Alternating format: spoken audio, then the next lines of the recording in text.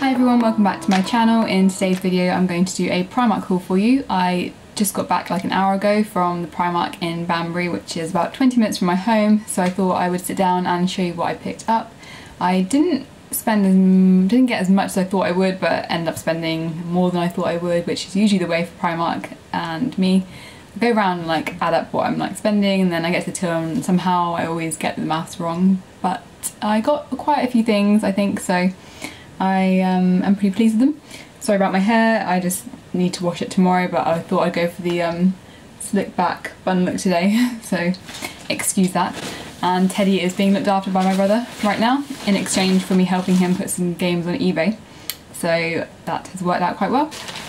It's in a Tesco bag because I was trying to save the environment. so the first top I picked up was this Minnie Mouse one and it is a just white polka dot top uh, with Minnie on obviously and this is a size UK 6 and it was £8 and I thought it was really cute. I was looking for a nice short white sleeve t-shirt with a kind of like really delicate print or polka dot so this is really good. Kind of slightly frilled on the sleeves which I think is really sweet and obviously Minnie is cute so I picked that up. And I picked up some trousers which were actually on their own which to me is a sign that they're meant to be mine and they are like really, I'd say like an emerald green long culotte wide leg trouser. Now these are a size, it says 8 on the label, but in classic Primark style it's actually a UK 6. Now I'm not normally a size 6 but I tried them on and because I think they fit more at the waist, they fit me and they've got like a tie front thing going on. So yeah, really like these, I think they're really flattering on so you're bound to see them at some point on me in my vlogs or Instagram because I think I really need some like comfy trousers in my life which I didn't have um, previously so um, these are going to be a staple. I think the colour will be really nice in autumn and winter too. Then I picked up a, everything's like in the wrong position, sorry, red button like wrap top. So the bust is like three buttons and here are the other buttons. And you wrap them around the front and again it's like a tie situation at the back. And this was £12 which it's quite a lot for Primark actually. The material was like okay, it's not great, but I really like the fit and the sleeves are kind of floaty and fluty, so I like that. And I got a UK 6 for some reason. I just tend to be very small on top and I always buy things that are too big on um, for my upper body, so I thought I'd get something a bit more fitted and because it would be quite like low at the front I didn't want it to be too gappy. Then I got a slouchy white vest which was only £1.50 in a size 8. I just really like the way it fitted on the model on the picture which isn't necessarily what it would look like on me but I thought it was really cute and it looked nice like tucked into some like boyfriend style jeans and just really nice casual daytime look while it's still warm because we are actually having a summer. Who would ever have thought it? Next up is a workout top because I always get my gym tops from Primark or H&M if you didn't already know that because it's just like cheap and cheerful and they really do the job. It's just a black vest which I didn't actually have um, in my collection and it was, how much was it? £3.50. Not too bad, it's like a fitted one which I quite like and it has a slightly different material on the side. Very basic, the back's kind of scooped in, which is nice because it shows off bras like the one I got. Um, let me try and get it out for you. It's a really nice sports bra, um, which I think is part of their new collection. It says new improved sizing on it, so I'm not sure what that means, whether it means they're going to stop being skimpy with their fabrics. Ooh, I don't know.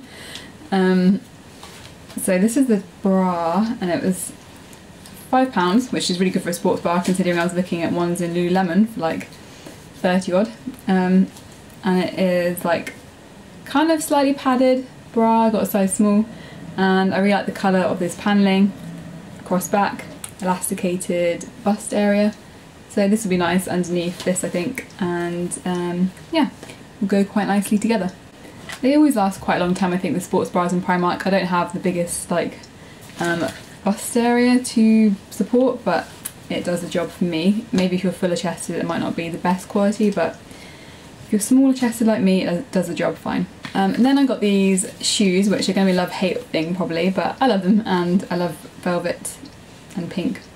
So these are a size 6, they're like sliders I think they're called and I just really thought they were handy to have. I didn't have any like flip-flops or throw-on shoes. I did have one pair and Teddy like scratched them and chewed them all so they look horrible now. So you shouldn't be able to scratch these too much. I'm sure I'll give it a go on the black, but I'm going to try and keep them out of his way.